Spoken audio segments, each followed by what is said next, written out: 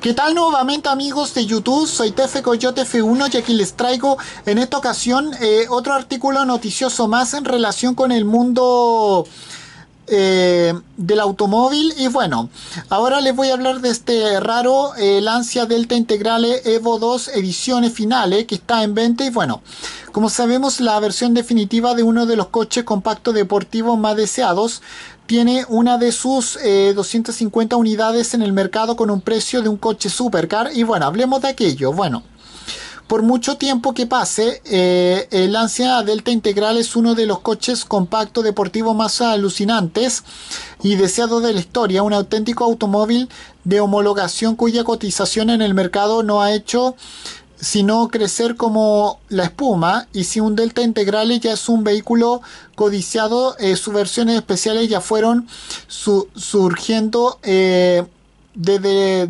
desde, entonces lo era mucho más.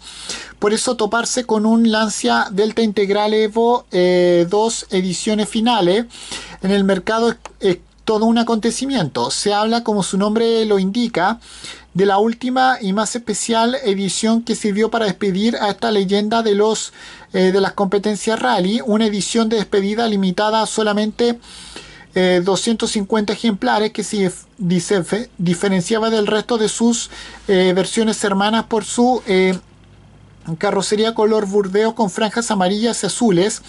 En el centro una llantas Speedline con, no, con 16 pulgadas con acabado atracita, antracita pero que también incluía también poseía otra mejora como unos amortiguadores Seibach o una centralita mejorada para mejorar mucho más su potencia. En el interior también poseía moldura de carbono, volante marca Momo, pedales OMP hecho con aluminio, asientos marca Recaro y por supuesto una placa identificativa de edición limitada en lo que es eh, la consola central. Esta unidad en cuestión presume haber, además de tener un buen estado, eh, un buen estado de conservación porque su dueño original lo usó relativamente poco antes de ponerlo a la venta en 2008 y pasó a manos de un coleccionista que lo tuvo guardado desde aquel entonces. De esta manera y sin necesidad de recambio ni restauraciones, este modelo eh, refleja apenas en su dómetro 5500 eh, kilómetros. Eh, y una, y una, sección exterior e interior donde apenas se aprecia el de, desgaste de ningún tipo.